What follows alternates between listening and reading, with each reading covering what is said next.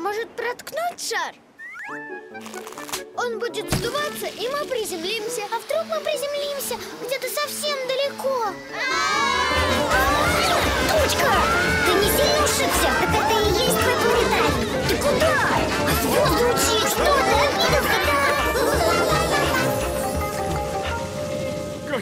ты? Как вы там оказались? Сейчас мы спустим вас вниз.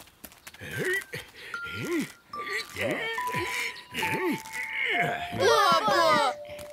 Мы думали, что улетели высоко и далеко. Даже боялись выглянуть из корзины Хорошо, что шар был привязан. Но вы